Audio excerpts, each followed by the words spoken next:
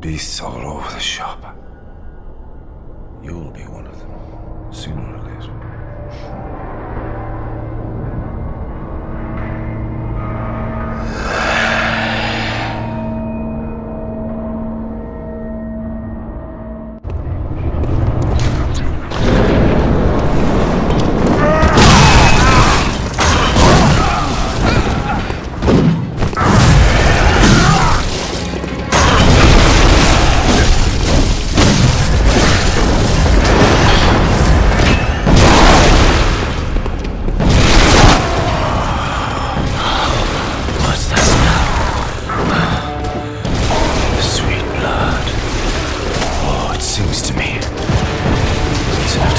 God's sake.